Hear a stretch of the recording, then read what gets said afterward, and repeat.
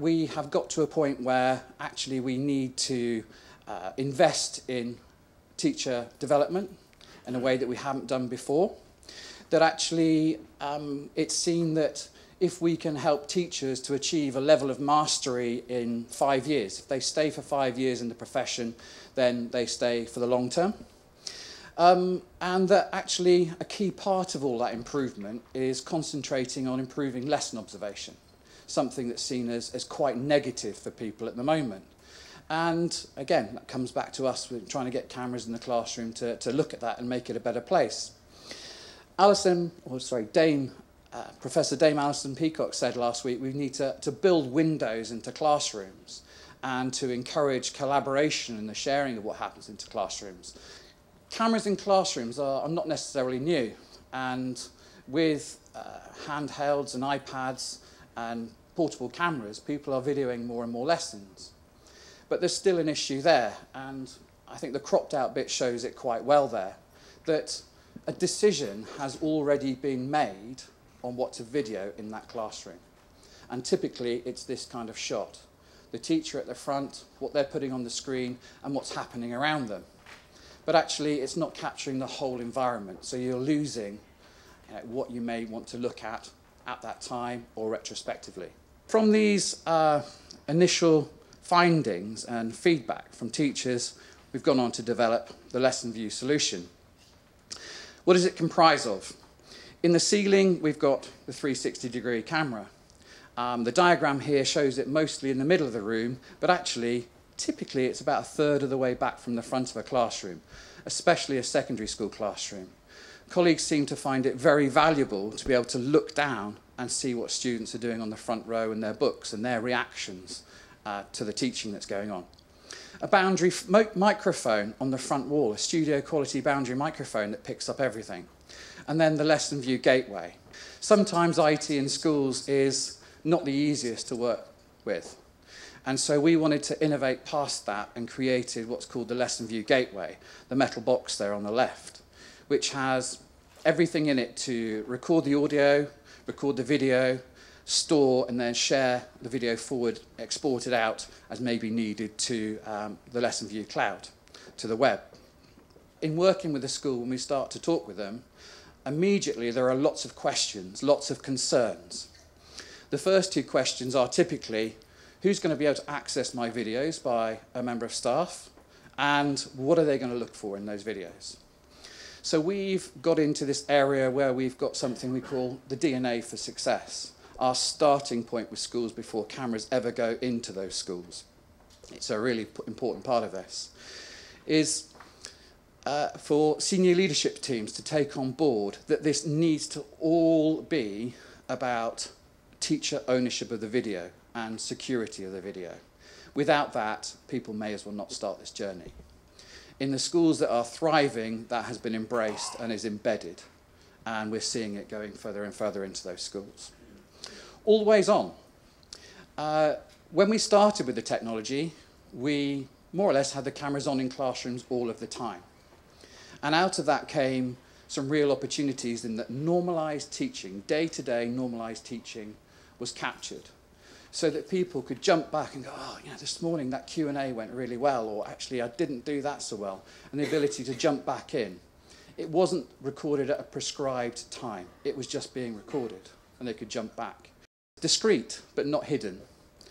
With all of the schools we've worked so, with so far, all of the staff are aware of the camera there and so are the students. In a very short space of time, and I'm seeing some nods here from the front row, in a very short space of time, the camera's forgotten about and we're on to the, day-to-day -day fast teaching and all of this.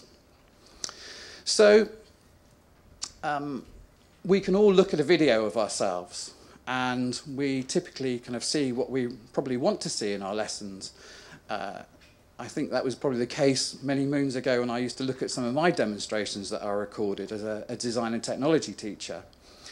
But a really significant part of the work that we've done with schools today and going forward will be about helping schools to uh, put in place pedagogy that helps them look at their, helps teachers look at their videos, um, be curious as to what's going on, and make the invisible visible. Thank you.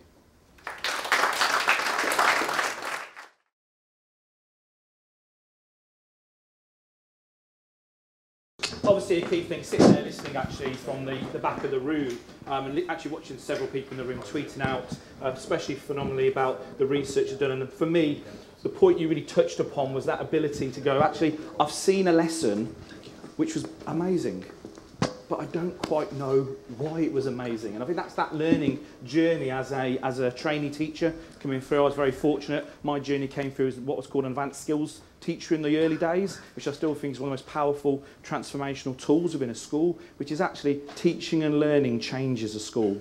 And obviously the work of ONVU that we're doing, and I'm, we're starting that journey here at Aston University Engineering Academy with uh, three or four cameras initially and obviously aiming for a whole school deployment I'm absolutely delighted to have such experts and people who've been through it uh, next to me. So I'm going to ask them a few questions and then going to throw it out to the floor. So please do get those brains and those juices flowing around what you really want to know from it and we'll throw them back to the relevant people on the panel. So Marj, we heard from you at the end, obviously quite a, a very poignant statement that, you know, you were one of those people who were considering whether teaching was still the right place for you. And obviously through the camera-based system, you were able to start to explore why and your whole ethos around the pedagogy in your classroom. So can you share a little bit more about that, please? Yeah, I think, is this working? I can't hear. Um, I think we'd been in a position where our school went into special measures back in 2013 and I was, I had just finished my NQT year in 2013. Um, and I got to the point where I was really excited about developing languages in a school where for the decade previously languages hadn't really been used that well, but then all of a sudden I had to teach in quite a prescriptive way, and it sort of took the fun out of it and the creativity. Um, and then I reached a point where I wasn't sure if that's the career path I really wanted to stay with. Um, and then I met with Sean, and we had a few initial discussions, and then it was later, well, earlier this year when we actually got the cameras into the classroom, and all of a sudden I felt there was this freedom again to take those risks to try out those new activities, to really respond to what the students were saying and feeling and how they were reacting, and also to have that different lens. It was no longer about scrutiny of the lesson observation form and am I ticking the boxes? Am I showing that I've got enough progress in books? Am I doing all these things? It was more about are these students engaging with me every single day? Am I making all these minutes count? And some of it was not very nice to watch because it was going, oh, that really wasn't what I'd intended. But it was a learning experience rather than somebody saying, well, you're not doing your job right. It was, okay, what are we going to do about it? How can we change? And that was really enlightening. So I suppose that summary term you've used there is that self-reflection. So the cameras focused you more, do you felt you self-reflected more through the use of the camera system? Yeah, I think it's really, it's really harnessed what was already there inside. I think everybody who is an effective teacher has to reflect to a certain point, but it certainly gave a bit more, it gave a different perspective and a bit more focus to that self-reflection. Thank you. I'll jump over to Claire on the end. I'll stand back with a bit of feedback. Um, Claire, obviously, how obviously yourself in the classroom, what about colleagues around you? What did they feel when they heard that you were being filmed or they're coming in the classroom? You know, what, what did that generate? Um, is this on? Yeah. Um, well, as Marj said, we, we went into special measures and so we were inundated with lesson observations. I don't mind them. I don't know any other profession where you are watched quite as much as teaching. I've been in two other professions and nowhere near the scrutiny that we have now. Um, I don't mind them, but none of my colleagues like them particularly, most teachers don't, and they're so false. And so I thought, this is a bit annoying. I know you're coming. I overplan the lesson. I overplan it, I deliver it, and everything goes tickety-boo. And you think that didn't actually achieve anything. You are your own worst critic. Nobody will criticise you as much as you do. They will only see what they want to see. So colleagues within the department, we got pretty fed up of being observed. So when the camera came in, they thought, that's like 365 days a year observation. And I said, yeah, but by me. It's me who's observing me. Um, they, they were very um, surprised. We've now got two cameras in maths, so there's another classroom with a camera in. Very surprised that we'd gone with this. I don't think I'd like it. I wouldn't like to see myself. I don't like to see myself. But that's not the point. I want to see what the pupils see. And gradually, as all of us within the Academy have got cameras, talk about it more, relay the successes of what we see, then colleagues think, oh, okay, I might give it a go. Now, the only thing I would say about that is when we only had uh, a couple of cameras, I swapped and used uh, Marj's room where the camera was. That's quite difficult. The classroom's not laid out like mine. It's not my classroom. The kids know it's not my class. Why are we in here, miss? We made up a little story of why we were in there. We didn't say because there's a camera watching you. that wouldn't have worked. Um, so you're not in your normal environment. And in fact, for part of it, the kids were brilliant because, oh, new room. We don't normally come in here, you know. So it's false again. The best results come when it's day to day. That lesson where you think, I winged that, I definitely winged it. And you can see it Excuse back me, there. Can, can you colleagues stop rustling? It's very distracting. Sorry Thank you. about that. That's okay. Um, but when you think you've got that lesson where you think, oh, that wasn't the best planned lesson, and in fact you look it back and think, well, actually, there's elements of that that I should use again. Um, and just the more you talk about it, colleagues will start to realise that nobody else can see it. That's Thank- the biggest fear. Thank you very much. And I think you know we've all we've we've been there, and for those professions, uh, people, professionals in the room working in schools who are doing observations have all seen it. You know that lesson you go down and think, actually, you know what, that was a fantastic lesson, and I really learned so much from it, the way you did it. But actually, yeah, you're absolutely right. You've touched on it. You know that colleagues worked for seven hours on that lesson, and I always leave as that leader thinking, actually, but do I really want to return for the next lesson in an hour's time? Because if they've spent seven hours on that lesson, where's the next lesson actually going to be going? And I think you're right, it's that word I use in the video, that totality of the teaching experience, that totality, of the day emotionally, the normal. And you touched upon another point then, which was really exciting, which was around sharing and sharing that information, starting to talk amongst colleagues. Dan, obviously, you heard about the primary school and those first stages. So how about that, about in terms of sharing and looking at working amongst other colleagues in the school? I think when we, we introduced this, there was that, that element of fear, and, and you know, I remember when I launched this with the um, senior leadership team in, in Shavington, I got, oh, I don't want to see myself, I don't want to hear myself, and, and actually it took somebody to stand up and say, do you know, I'm gonna I'm gonna give this a go, and the reason she gave it a go was one, it, it was Rachel who you've you've um, seen earlier on, but she's probably one of our most experienced teachers, one of our most reflective teachers. And for her to, to stand up and say, actually, I'm going to run some CPD for staff here where they can look at what I did, not in a prepared way, not in a way that, that I'm demonstrating, but actually where I'm going to show somebody where something that I did went a bit wrong. And then the professional dialogue around what went wrong so that they can actually all learn from that, that experience. Um, the one great example she, she gave, and I think some people around the room have seen it, was, was where a child had turned his pen into a pea shooter behind her back. And, you know, she thought that the, the lesson had gone fantastically well. Behaviour was, was absolutely superb. And, and um, I think, Sean, you, you saw that lesson, yeah. And, you know, and, and, but actually it was a fantastic learning moment. And, you know, what it did was show that not everybody's perfect. This is real life. This is day to day what goes on. Um, you know, I don't, as a school leader, want to go in to a school and see a performance. I've got no interest in seeing somebody put on a show. I'm interested in what the children children do. You know, I've I've done some remodelling work on on the schools, and I actually put windows into the walls. Um, but what you tend to get is, is, is people put curtains across those windows in there so that that's a display so that you can't see in. And actually, all I'm interested in what are the children doing and learning. So the, the camera here gives us a real bank of CPD opportunities and people sitting around talking, discussing learning, um, rather than how can they get a, a, you know, a one in a lesson observation. Fantastic. And Dr. Sean, to respond to that. Yeah, uh, we're, we're talking about Rachel. The, the, the power of working with Rachel, because she was so experienced and, and had this, say, this deep, this deep tacit knowledge, was we were able to use the ingredients in the template for her to be able to deconstruct what it is she did, and then to be able to articulate that, so that she could then disseminate it to others. And, uh, and uh, she was a pleasure to work with.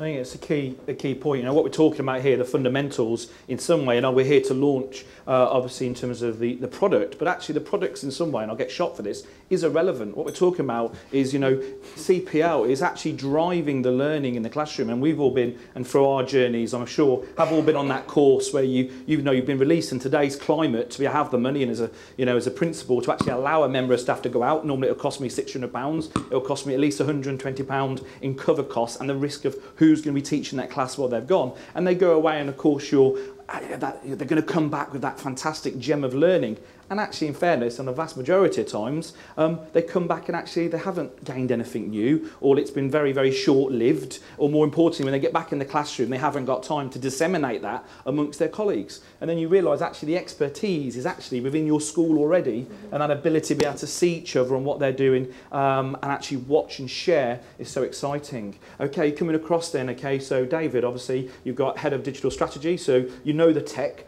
so, you know, the challenges or more importantly, the advantages of using this type of camera equipment, please. Okay.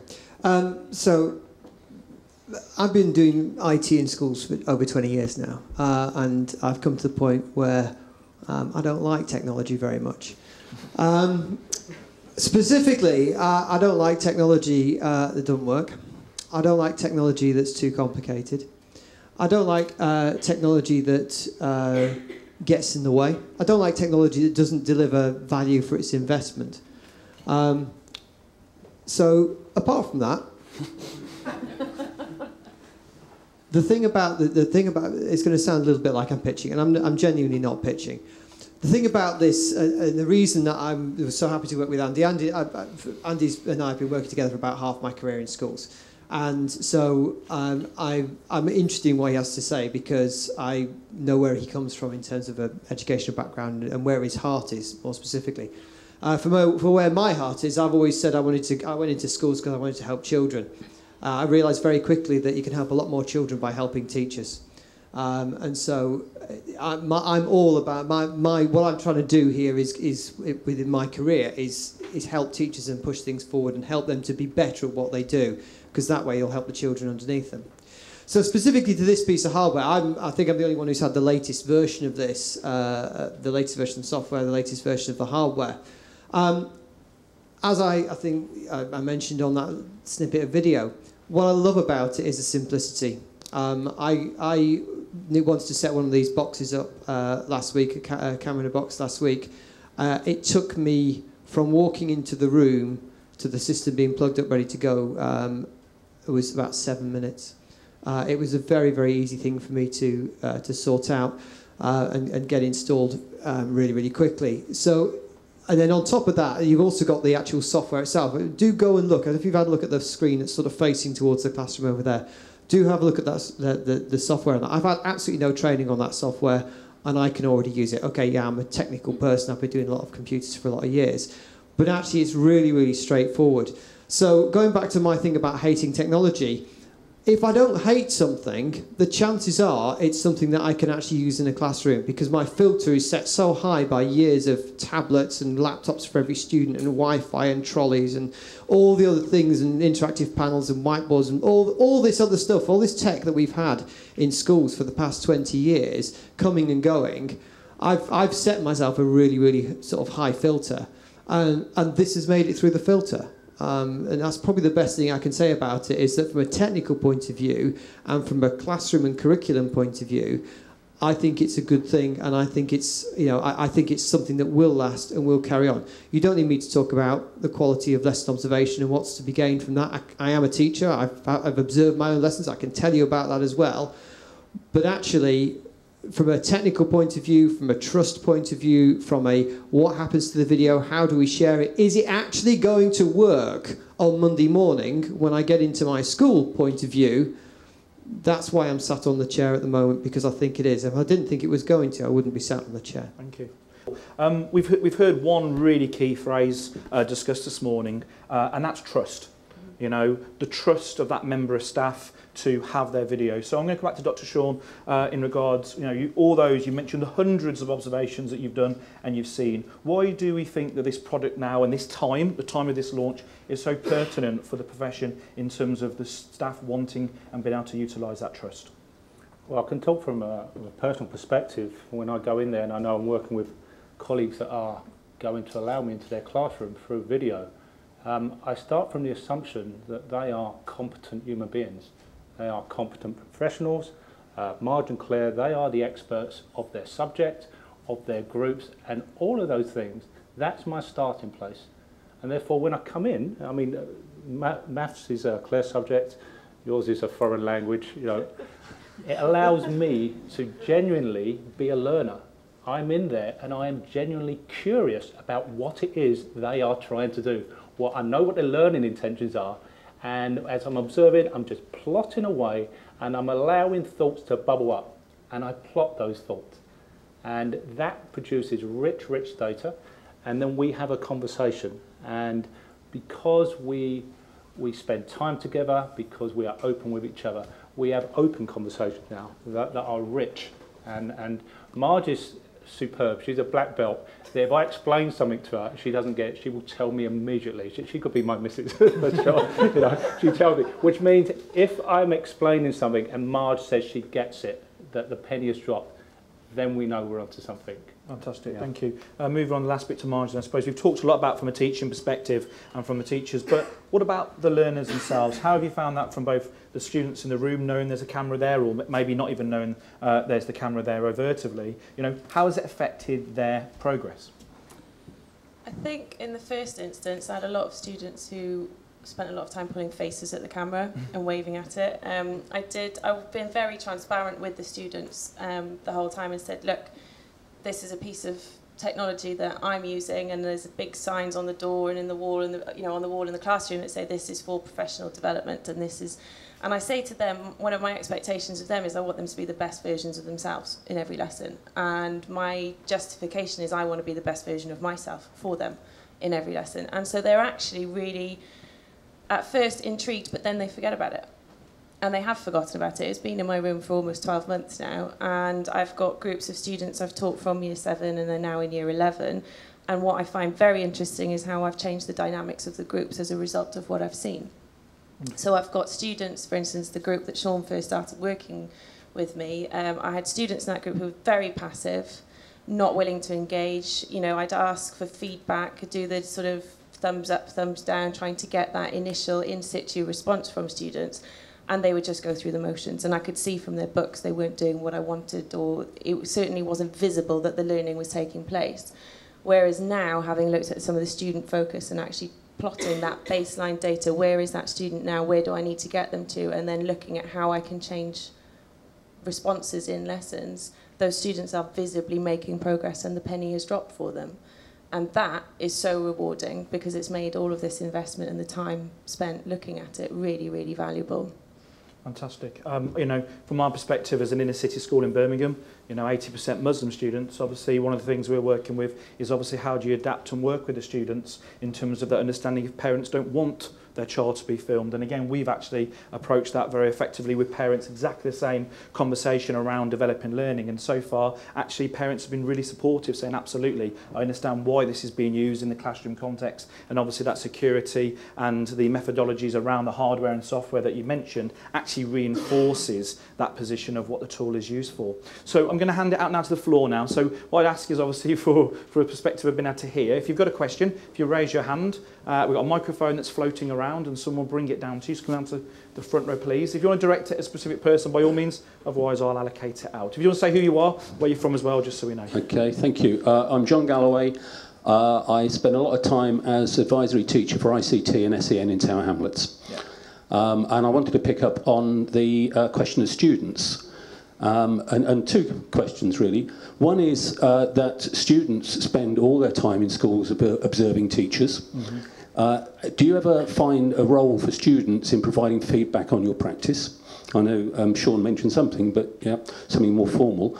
And secondly, whether you've used it for students to see their own behaviour and yeah, how that, how that works. Got a few heads nodding at that one, so I think they'll pick up. So um, if I take the first question to Marj, if that's okay, in terms of utilising feedback from students, then I'll come to Dan probably um, as well from, uh, from that behaviour. Um, I'd have to say yes to both of those questions. Um, the formalised process of getting feedback from students, I've done some student voice surveys around specific groups, asking some specific questions, but also some more generic questions a- a- around their learning experience and compared results before the camera went in and then results towards the end of the year um, to see what their responses are. And there was a marked improvement, particularly around student engagement in lessons, which I think is as a result of that responsive teaching that I've improved on, but also I've done a lot around withitness um, to the point where I completely remodeled my classroom over the summer holidays, and that's had a really, really positive impact as well.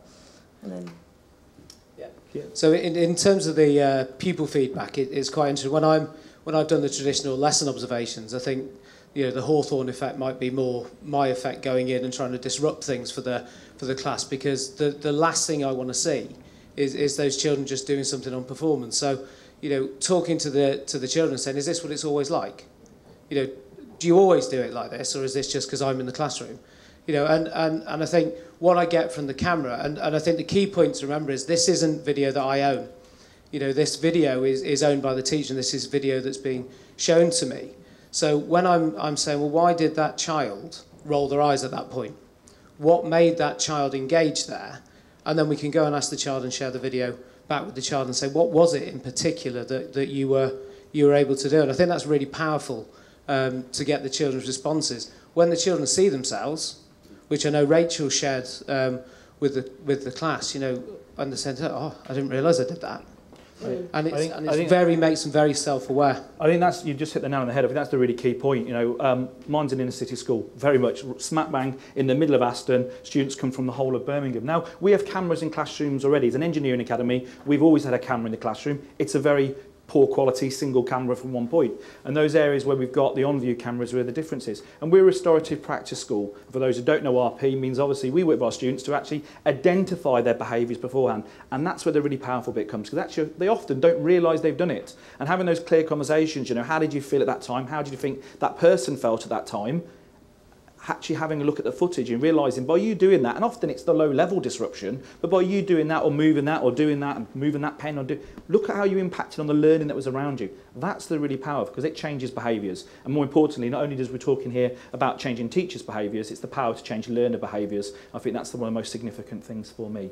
Hi, I'm Sal McKeown. I'm a freelance journalist.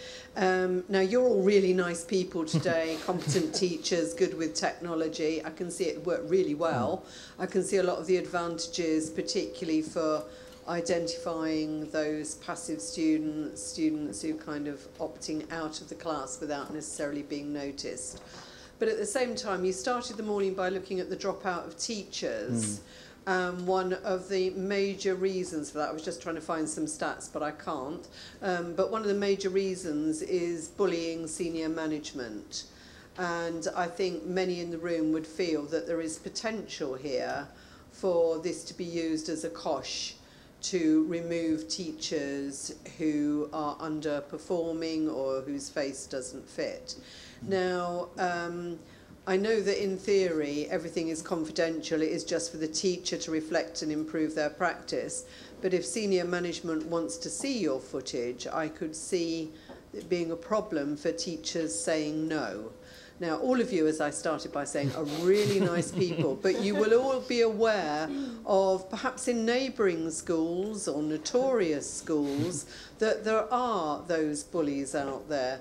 Do you think there are ways that safeguards could be built in? And I don't mean technological safeguards, but ways that safeguards could be built in so that this does remain a positive tool and not something which is going to undermine teacher confidence even further? Really, really good question, Dan. Yeah, I think it's, it's absolutely key. And I think the, the question comes around culture, really, the culture of the school.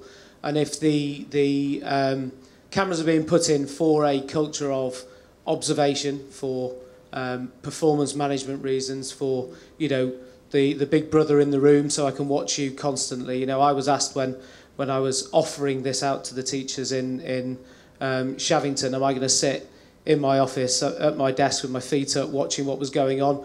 Uh, absolutely not. And I think that there's got to be a um, system where the, the senior leaders in the school actually develop that trust with the, with the teachers. So I genuinely have never seen any footage that, that the teacher hasn't released to me. Not at all. I can't access it. I haven't got a login. I'm not able to. If, if Rachel said to me, I don't want you to see it, I, I can't do it. There's always going to be that element in the, in the profession of someone who wants it for a different reason. And I think that if there is a, a culture of respect and trust and it's for self-reflection, then, it, then it's going to be very, very powerful. Um, I think that if, if the um, motivations are wrong for putting it in, it's going to be a real issue um, in, in schools. But I think the getting the buy-in from teachers is, is the way forward to do it. Thank you, David. Yeah. Um, what I don't know if you've looked at the latest version of the software, but at the, at the bottom of the screen there's a there's a, essentially a log, uh, and I know you're sort of slightly dismissive of technological um, safeguards, but there are technological safeguards. I'm not that you- dismissive of them. Okay, fair enough. But the but one one of the safeguards in that is, uh, I mean, we could usernames and passwords can always be worked around in some way, shape, or form. You just permissions and everything else. What one thing that's built into the system which can't be worked around is an audit. So if, if you owned a piece of video that was shot in your lesson and everything else, anything that happens to that video is reported back to you. So if somebody else, even if you've allowed somebody else to watch it, the fact that they've watched it or the fact they've taken a clip from it will be reported back to you. So you actually have got a, a watch guard in place that at least notifies you of what go, what's going on at a technological level. Th- There's also a slightly simplistic point here that obviously there's a cost implication of putting in a in this piece of software, uh, this piece of hardware, and, and the, the software subscription that goes with it, and all the rest of it. The if you've got that box will be sat in a in, um, in a uh, in a classroom, um, used by a teacher. It will have cost the school money. If the school then starts to use that for what we may consider more nefarious um, reasons, there's very little that a school can do to stop the teacher standing on a chair, putting a piece of tape over the camera, and unplugging the microphone. Um, at which point you've wasted your investment. So I think if a school is going to go into it with that attitude, they need to go and buy a, a security camera system and not not a le- not this Lessonvu system because uh, this it's not designed to be you know for, it's, it's not designed for that purpose and so it wouldn't it wouldn't withstand somebody absolutely desperate to not have it functioning in their classroom. Thank you, David. Because Let's I move across to. Claire. You want to say something briefly? Yeah, um, I, I coach teachers who um, are struggling at various points and um, failed to keep one teacher in the profession because on the time issue, I would observe this teacher for an hour a week and then spend another hour dissecting that and replanning the next lessons. That is massively expensive and, and time consuming. I actually, he, he eventually left the profession. I don't so much about my coaching, but um, I honestly believe if he could have had a camera to watch himself in private, day in, day out, because he had so much that was right, um, he'd still be teaching. So the cost there makes the cost of the camera and the equipment look tiny because we've lost him. Really good, really good point. To move back out to the uh, the floor now, please. Have you got microphone, please? I can sh- teach it, I can shout. so um, I come from Wabi, we're a company who are um, working with education in sub-Saharan Africa. And I'm interested to when you talked about the camera in a box and you set it up in seven minutes. Do you mean the portable one, not the one that goes in the ceiling? No, that was that was a that was a proper installation. In reality, if I was setting it up for, for to, to live in a classroom, I'd take a bit longer. I'd plumb the cabling in a bit more nicely and everything else. But fundamentally, it is if you if you've got a network point on your wall and a power socket next to it, you literally plug plug plug, chuck the cable up for the camera, plug the camera in. I mean, it's, it, I'm helped by having ceilings like this, nice suspended ceilings. It's a bit more complicated Yeah. if you haven't got a suspended ceiling. But the, the point I'm making is it's a, very, it's a very simple install. It's not something like you used to get with the interactive white, uh, whiteboards where you have to get a professional company coming in and putting it on the wall and mounting a projector and powering the roof. It's nothing like that. It's, a, it's something that really any I, school IT department should be more than capable of doing. I'll come back to you because I think I know where you're going with this. You're going classrooms around the world, correct? Well, we, we're working in um, what you would call very under-resourced community schools um, at the moment, specifically in Zambia and South Africa. And our um, angle is actually different in that although we would love to think teachers and schools are going to use this for self-reflection, at the moment that is without a doubt a step too far for the schools that we're in. We're actually more interested in using it to record examples of best practice that we can share with our growing community. So, you know, when we talk about thumbs up, thumbs down in our training, this is what we mean in 10 different classrooms, in 10 different locations, in 10 different settings. So we're really keen on it from that point of view. Um, we've been working with Andrew and John already, and um, we're, we've been struggling for all sorts of different factors, such as Wi-Fi, setup of classrooms, all this kind of thing. So for us, we've got very different Yeah. hurdles.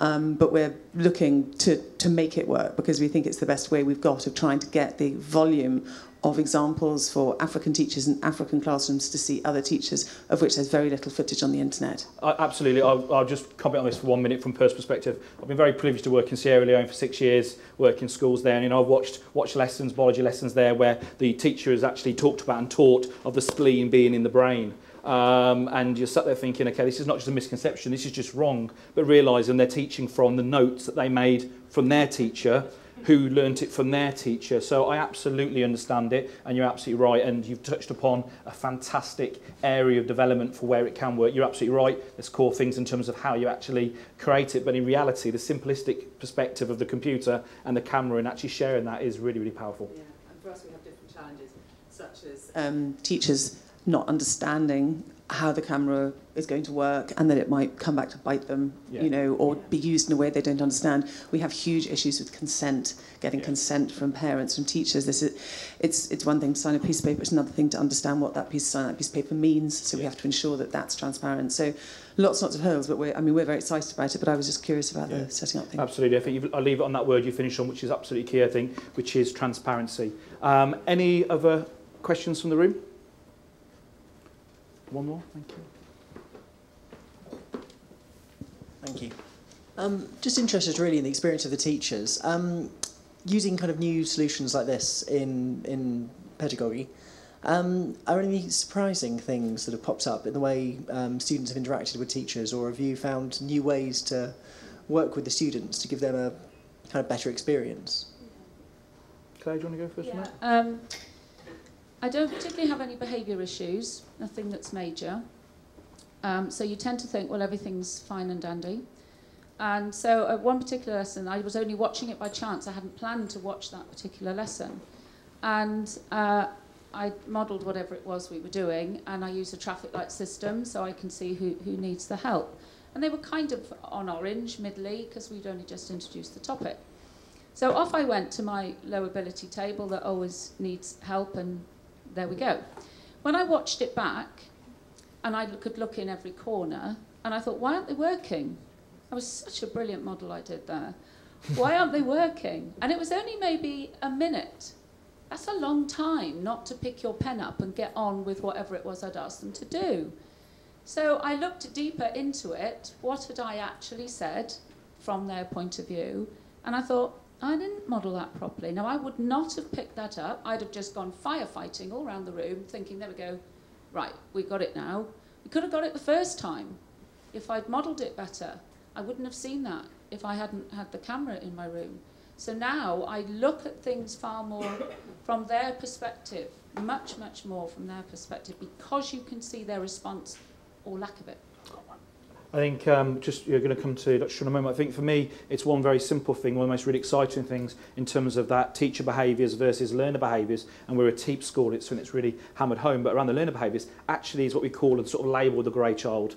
You know, we all know those students then, obviously watching the footage, those students which are the ones that you're challenging, maybe that low-level disruption sometimes. Also those ones that you're really, really pushing, the bright, they're asking the questions. For me, the biggest challenge as a school that, you know, really does want to continue to strive for that improvement, actually our target area is the middle. Those students that, as you mentioned before, you, you see from that video, don't participate. or come, They don't do anything wrong.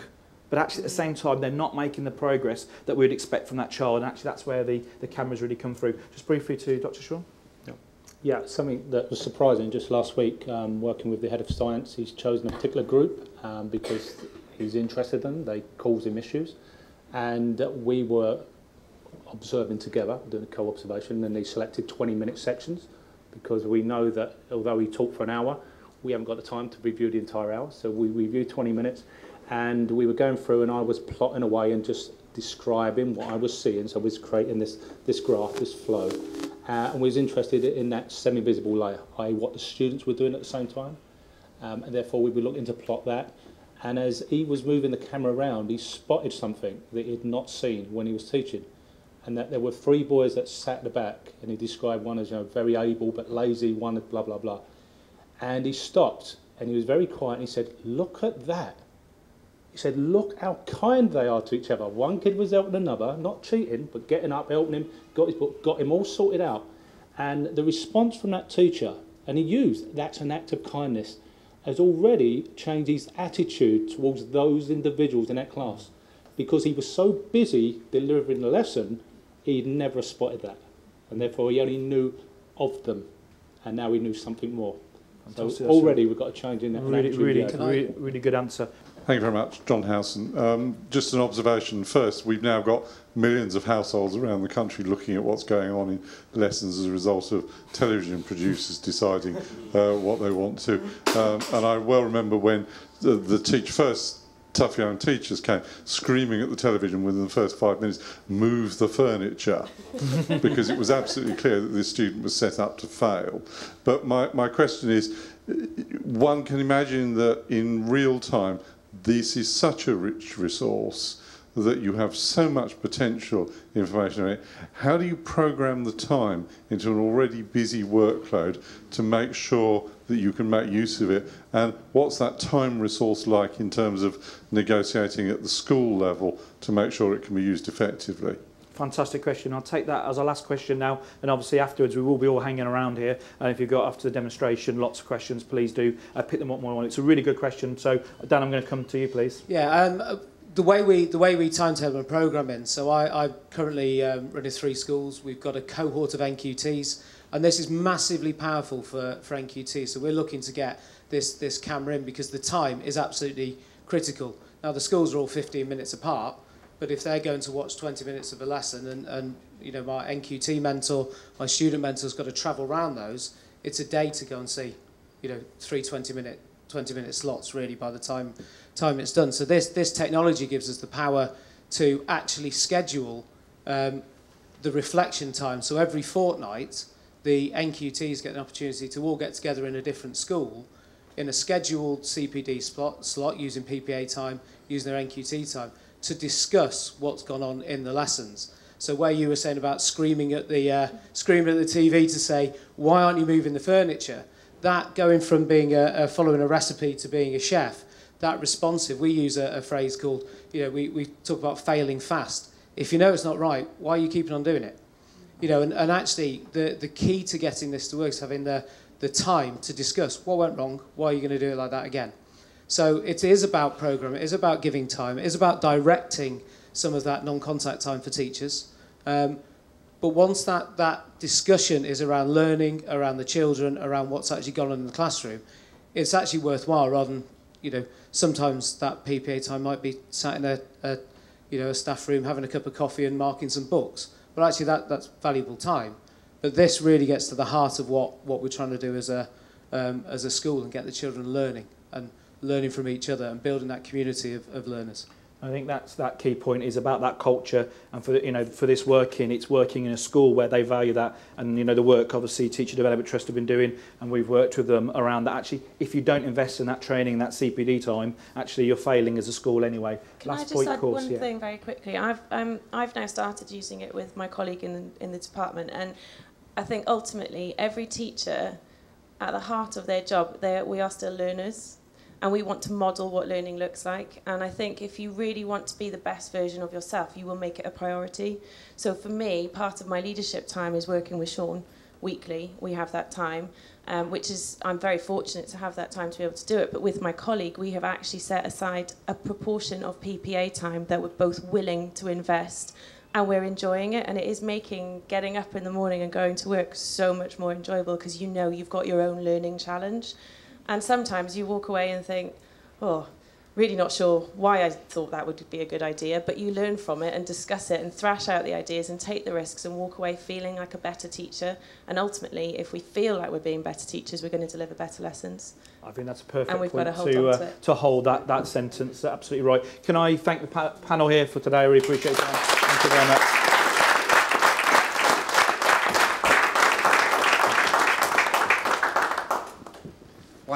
Thank you. Actually, I'm the, I'm the first one to be happy at saying it's not about the camera. You know, I think that's where we came in with Scott this morning. First thing was that, yeah, we're putting cameras in classrooms, but it's about the application and, and what the end results are in investment in teaching and learning. And I think that from, from the colleagues here, from the questions, I think we can say there are some really positive things happening. So thank you to you for all coming along. Um, you are very welcome to tuck into some of the, the food that's going to be available. But also down the end of the room, we've got a, a bit of a classroom set up so you can come and be a, a naughty pupil in view of the camera if you want. But uh, also talk to my colleagues there on the left, uh, John and Paul, and have a go with the software. So thank you very much for all coming along here today.